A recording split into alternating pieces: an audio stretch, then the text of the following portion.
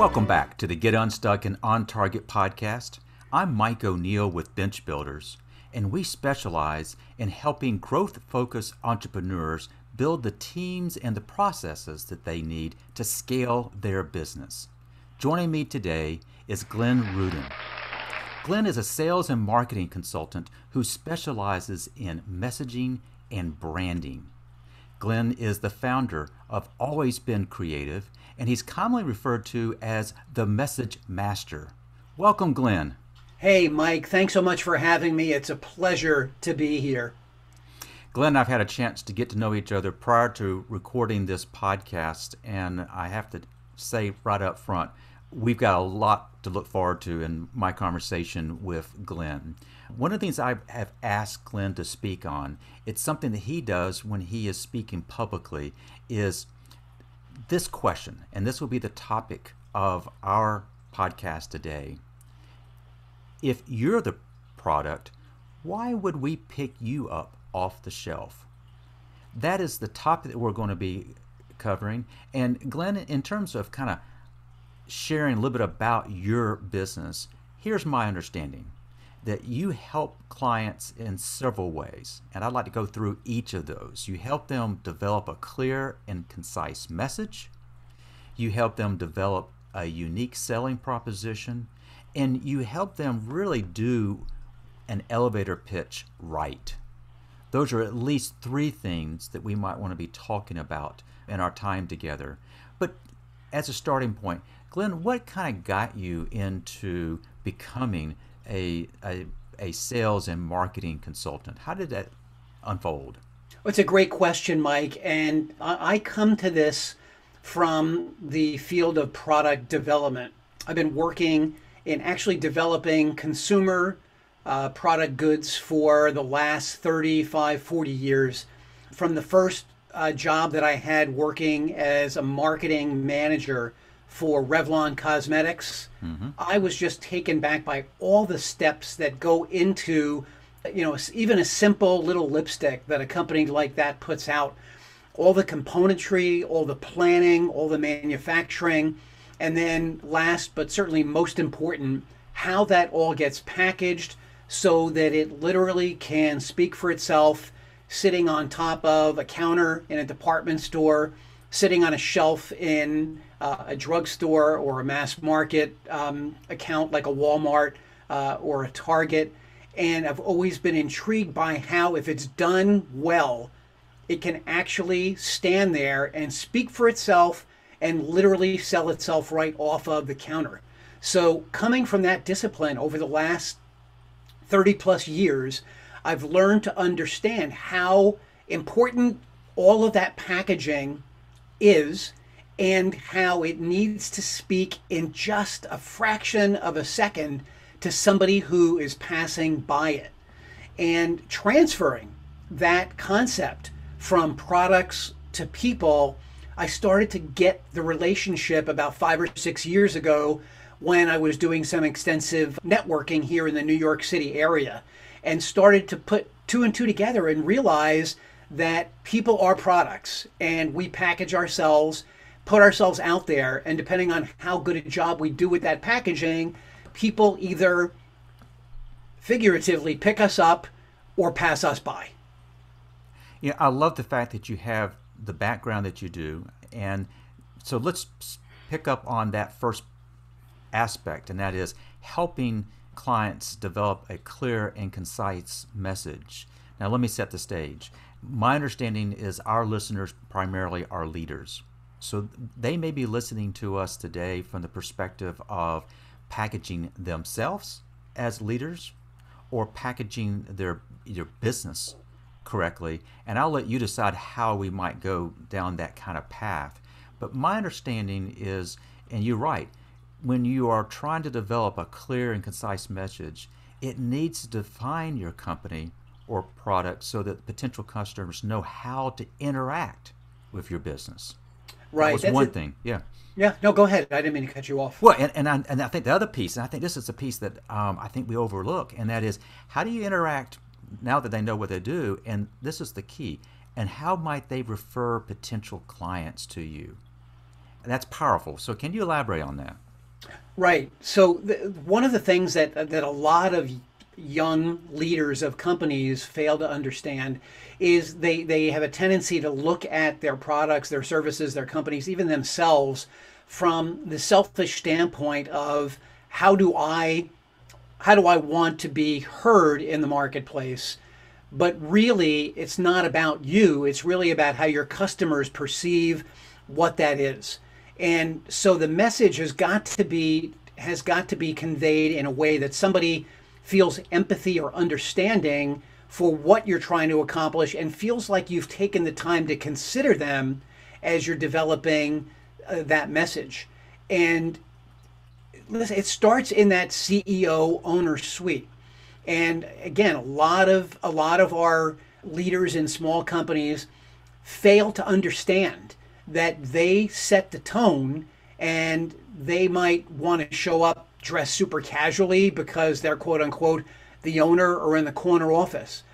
But that message reverberates really around the entire company when people see what kind of messaging they're giving out. So it starts there and and then it starts to build its way out to the employees from the employees out to the the world of uh, potential consumers and if not consumers people who become aware of these companies and may not be the exact customer meme, but might know somebody who is if the messaging is done right.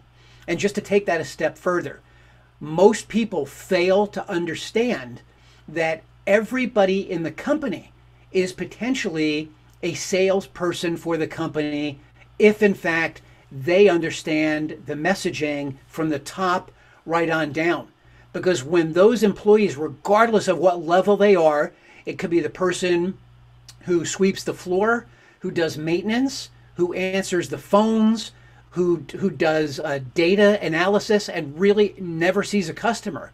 But Mike, every one of those people has interactions in their world with friends, family, uh, relatives, uh, potential customers, people that they network with, people that they meet. When somebody casually says to them, "Hey, Mike, what do you do for a living?" and now you've got the opportunity to bring them in to the company or completely lose the opportunity.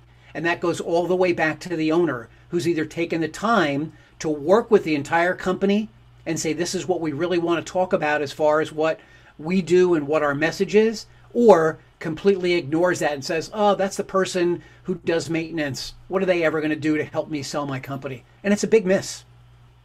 You know, you're making an excellent point, and that is it seems as if if we limit the people who are concerned about the messaging to just the sales and marketing folks or the business owner, we're missing a huge uh, potential where anybody who's involved with the business, if they understand and they can articulate the message, then you've you've just deputized anybody who touches the product or the service to go out and and speak to it.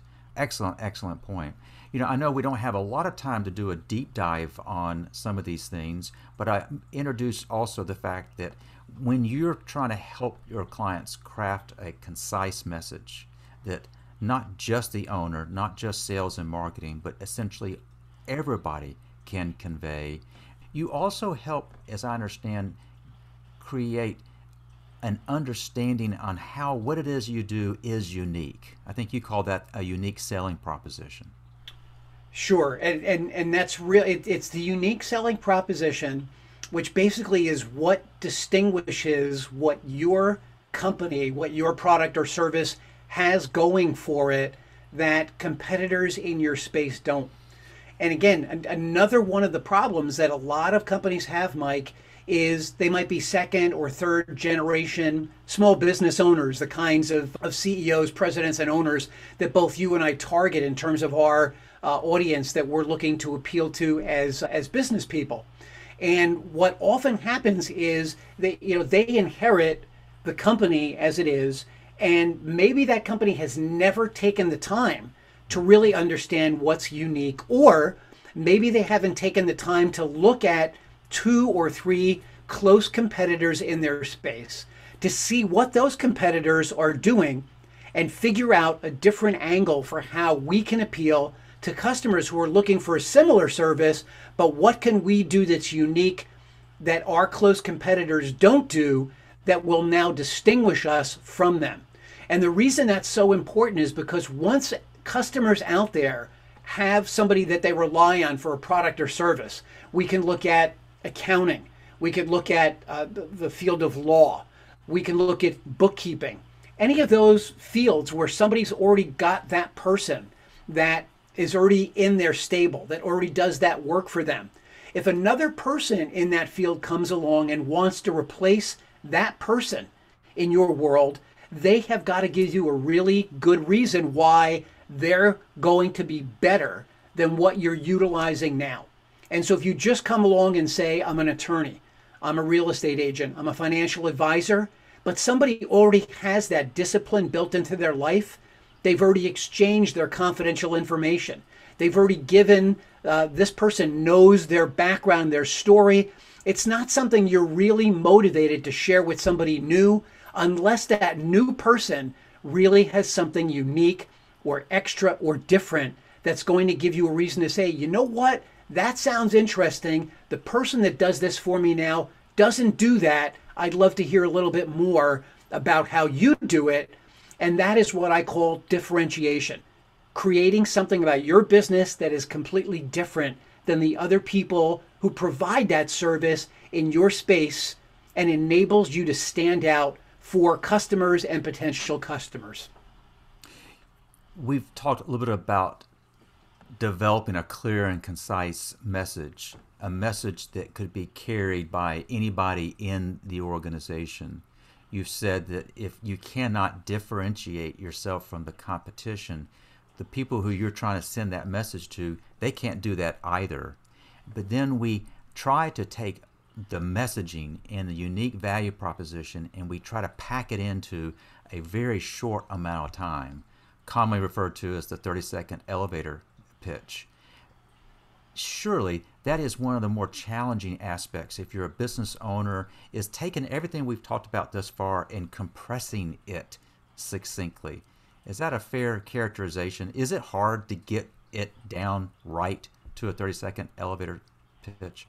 It's a it's a great question and it's one that so many people fail to understand.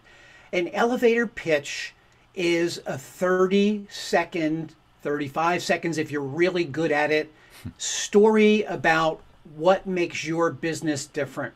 And what I often realize people are trying to do is they overcomplicate it, Mike, because what they're trying to do is pack an entire story about their company into this 30 second pitch. And invariably, what they do is they, they put out a disorganized set of statements that really don't lead somebody to wanting to hear more. And what I equate this to really simply is, you know, in in the days when we're walking around uh, the shopping mall and we get near the food court, and invariably there's somebody there giving out a taste of whatever their food is.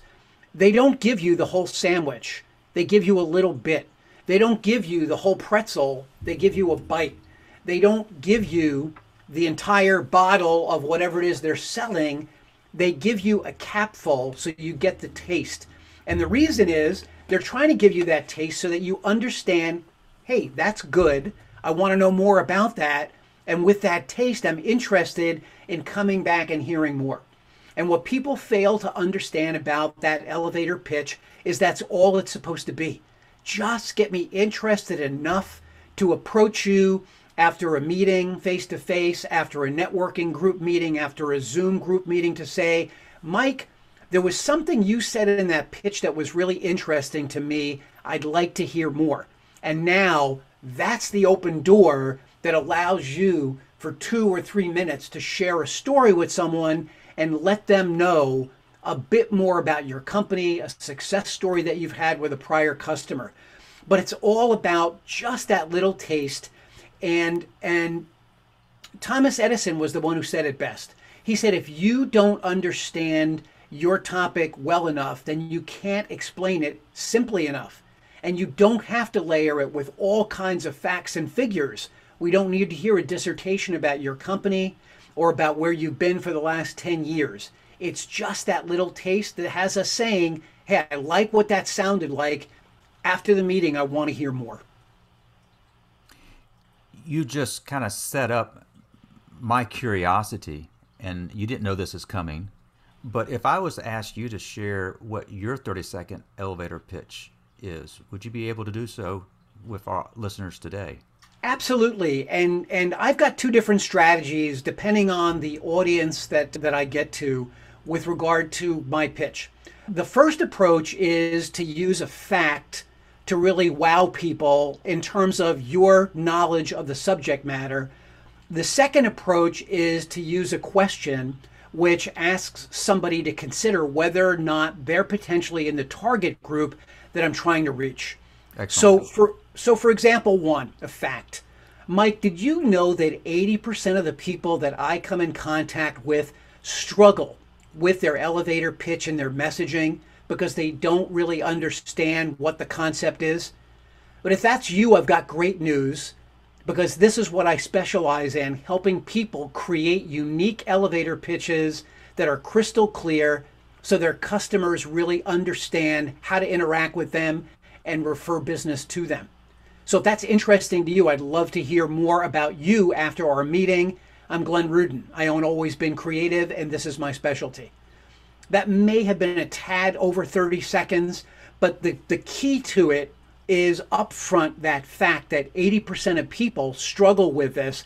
And so now, if you're one of those people, you feel like Glenn might be talking to me. Mm-hmm. The second approach is to use that same exact ending, but to start it with a question Mike, do you struggle with your elevator pitch? Are you resonating with potential customers? Or do you feel that people might not understand what it is you're trying to accomplish? So, by doing that and being empathetic, and normally I wouldn't address it directly to you, I would address it to the crowd in general. And what I find when I do that is people are not necessarily willing to embarrass themselves and raise their hand and say, Yes, that's me. Yes, that's me. I struggle with that. But they make a mental note of it and the fact that I do a really good job delivering my pitch. And very often I'll get approached by a half a dozen people after a meeting who'll say, I think I really need to spend some time talking to you. So start with a fact or start with a question that really draws your audience in and lets them know that you really understand your subject matter well. You'll notice that I don't lead with, I'm Glenn Rudin. I don't lead with, I own Always Been Creative. I don't lead with, I'm from New York because all of those facts, which people normally put into the top of their elevator pitch, are completely irrelevant unless they're interested in hearing more from me. And it's one of the most common mistakes that people make.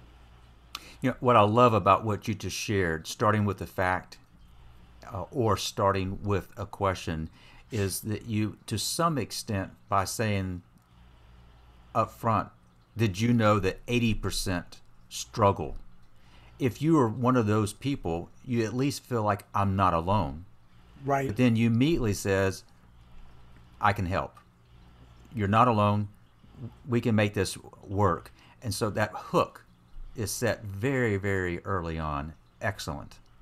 Yeah, and, and, and it's it's very effective because in, in my particular case now, for for another company that has a product or a service, it's it's really finding that same kind of fact. If you're a cosmetic company, for instance, did you know that and, and you do natural cosmetics which is one of the big trends i'm seeing did you realize that the product that you're putting on your face may contain harmful chemicals? What? You know that mm. kind of a thing. Or did you know that most accountants miss these key facts when they're doing your tax return? What? You know or you know, did you realize that you could be leaving money on the table if your accountant doesn't do this, this, and this with your tax return when they're preparing it?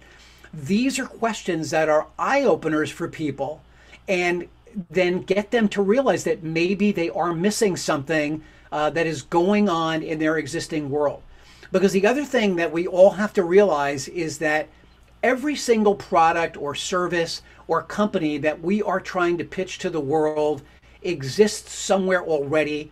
And so someone is either using it already or has considered it already, or there's also the choice of, I have no interest in it whatsoever. So not only is it important for us to break through where a competitor exists, but we also have the competitor of no, this is not something I was considering before you started to speak. And and let me do this also.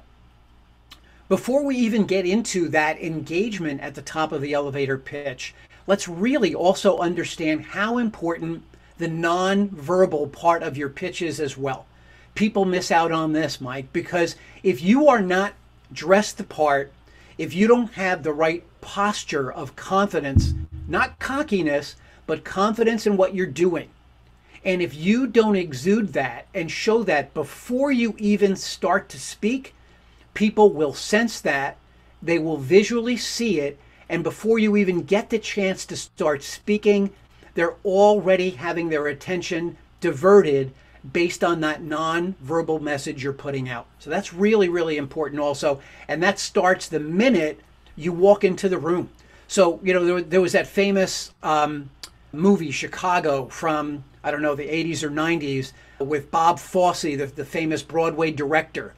And, you know, he when he got up in the morning, and the first thing he said when he looked in the mirror was, Showtime, you know, that's it. It's, you know, the minute you get up, you've got to be on as soon as you know you're going to be coming in contact with again customers or potential customers because people are already reading you the moment you walk into the room is this guy is this woman somebody that i want to have an interaction with or is this somebody that i'm going to completely pass over because they're telling me non-verbally they're not really that interesting i'm so glad you added that because when we're talking about messaging we're oftentimes we limit ourselves to be thinking about words. And what you're reinforcing is the message, if you would, is probably more conveyed in the nonverbal than the verbal. And your challenge to us is if you're in a situation by which you are conveying this message, be it a elevator pitch, is you have to be on. It is showtime and people are picking up on that. And if you don't convey confidence. People sense that. They do, and and what I, I, liken it to, just to go back, you know, again, I don't know how many people will will even remember the name uh, Bob Fosse. I could really be dating myself with that one, but I, I I like to frame it this way: your elevator pitch is a performance, and it's a performance in all of these different ways. Number one, you need to be dressed for the part. So you need to be in costume. Whatever that costume is for your particular business, you know what the norms are, and you don't want to dress too far below those norms, and you don't want to dress too far above them. You want to look the part you're supposed to be playing. So, costume is number one. That's part of your nonverbal. The second part is hopefully, I would hope anybody that's hearing this would realize you do need to have a scripted pitch. That's not to say you want to read it word for word, but you certainly need to know the points that you want to convey. And you've got to rehearse that just like a Broadway actor, a TV actor, or a movie actor would rehearse their lines for when they're on camera. Third, you do have an audience. People are looking, people are listening. They want to know that you are that person. And so I say, just imagine when you have your opportunity to do that, if you're sitting, lean forward, look into that camera so we know you mean business. If you're in person, I don't care if anybody else stands up. You stand up and you project the most confident you that you can project because it is really a performance. Now, it might only be 30 or 35 seconds, but for those 30 or 35 seconds, the audience has its eyes on you. Make that performance count. Take a deep breath before you stand up, put your shoulders back, give it everything you've got it's only 30 seconds. Then take a deep breath, sit down, and let everybody soak in the performance that you just gave. This is excellent.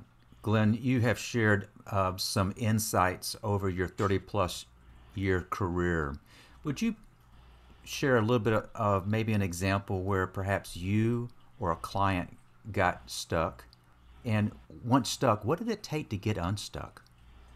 Right, and and it's a it's a great question too because I, I didn't come to all this stuff uh, the, the, minute that that I got out of college. There's an evolution over time.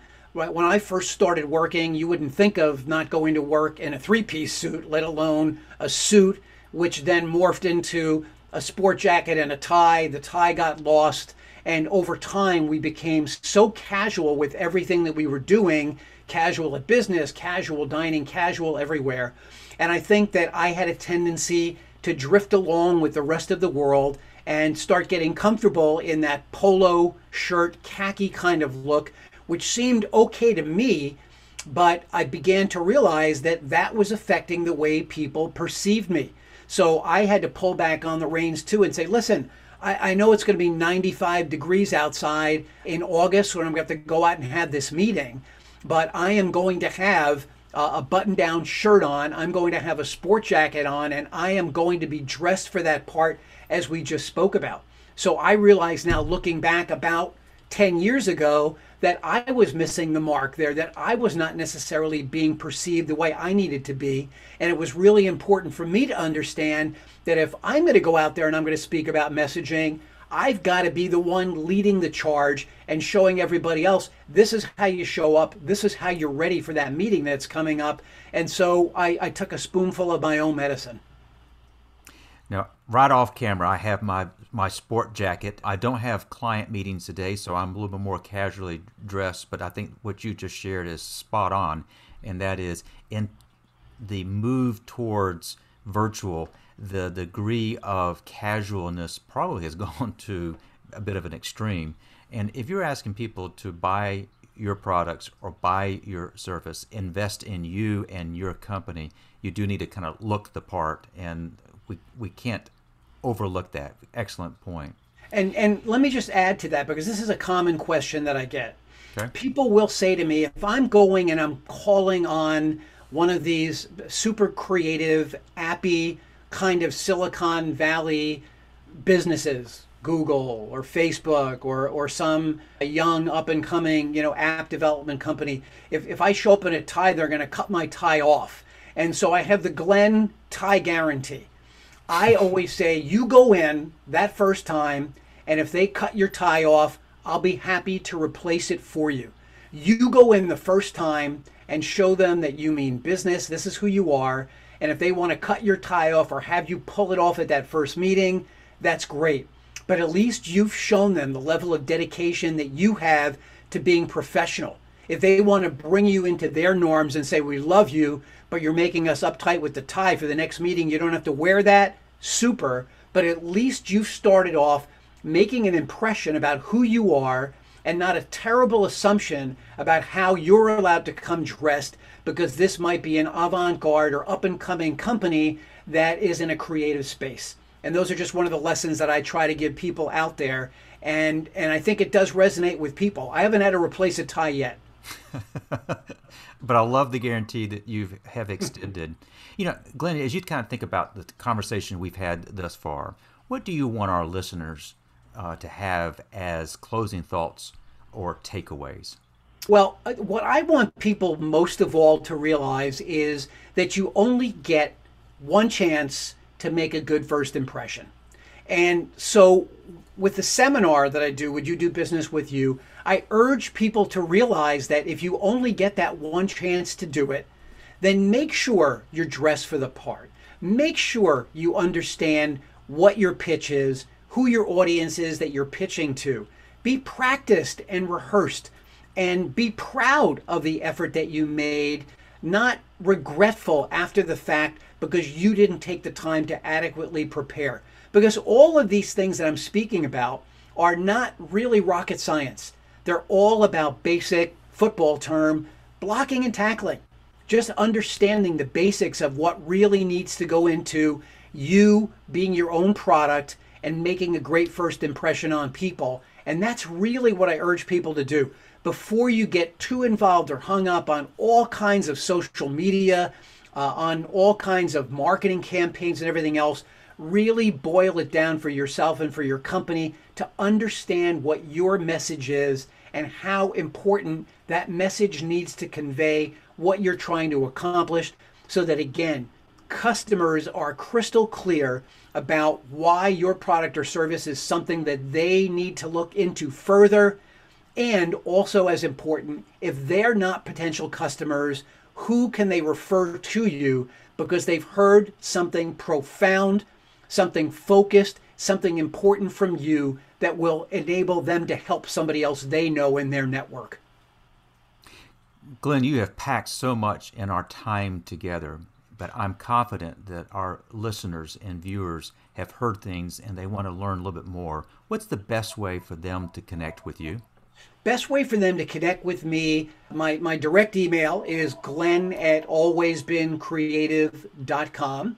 My email, um, that's my email address, my website is alwaysbeencreative.com and I respond to everybody that that writes to me with without issue and uh, I take great pride in getting back to everybody individually. There's no canned responses or automatic responses that go out there. I'm generally interested in hearing about and seeing that I can actually help the people who do take the time to get in touch with me. And so those are probably the best ways for anybody to reach out to me. We will include those uh, in the show notes as well. Glenn, thank you. Thank you, Mike. I really, really enjoyed your insightful interview uh, questions and spending the time with uh, with you and getting a chance to share some of the things that I am so so passionate about. So I'll leave you with this: you get one chance to get that message right. Take the time to really think it through, make it crystal clear, and make sure everybody in your company understands what that is. You won't be sorry. Excellent. I also want to thank our listeners for joining us for this episode, and I hope you've picked up on some tips during my conversation with Glenn that will help you get unstuck and on target. Every Thursday, we upload the latest episode to all the major platforms, so if you haven't already, please subscribe. So, if you're an entrepreneur with big dreams, but you're tired of letting your business keep you up all night, it's time to take action. Head to bench-builders.com to schedule a quick call to see if our growth coaching program can help. So I want to thank you for joining us, and I hope to see you next time.